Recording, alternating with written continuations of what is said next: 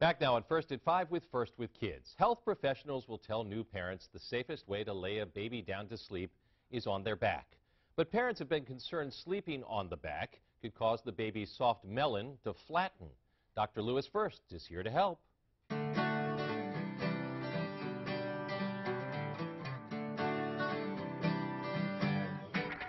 Parents of newborns have been heading me off at the pass, asking me that by putting baby on his or her back to sleep at night, will that lead to flattening of the back of their head? Well, let me come flat out and provide some information on flat heads. The best thing you can be doing for your new baby is keeping baby on his or her back every night when you put baby down to sleep. Yet if baby spends all their time on their back, even when they're awake, well, the pressure on the mattress against the back of the head will begin to flatten a portion of the back of the skull. And this really isn't dangerous, although it carries the name of positional plagiocephaly. Well, that sounds scary. The truth of the matter is this problem gets better as baby's head control gets better and they stop lying on their back. So what do I recommend to reduce the risk of your baby's back of the head becoming flat? Well, when your baby's sleeping, turn their head each night a little bit over to the right or to the left in order to reduce the pressure on the back of one point on their skull.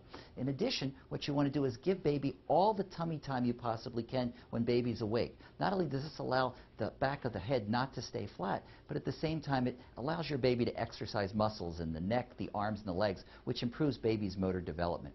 Usually this problem begins to resolve by six to nine months as baby's head control gets better and they move their head a lot when they're in their crib.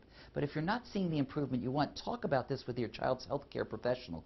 And in rare circumstances, they may want to do some imaging to make sure bones of the skull are okay. They may even recommend as you get closer to nine months the use of a helmet to speed up the reshaping of the back of the head. But the head is going to reshape whether you use a helmet or not. And usually this problem has been taken care of by age one to two years of age. What you really need to understand is no matter matter how flat a portion of the back of your baby's head looks, do not do anything but keep them on their back to sleep at night to reduce that risk of sudden infant death syndrome. Having a flattened back of your head does not constitute any problems with brain growth, brain development, and is not a sign of brain damage. So that hopefully tips like this will shape up what you need to know when it comes to worrying less and appreciating more the flat part of the back of your baby's head as long as you're putting your baby on his or her back to sleep at night.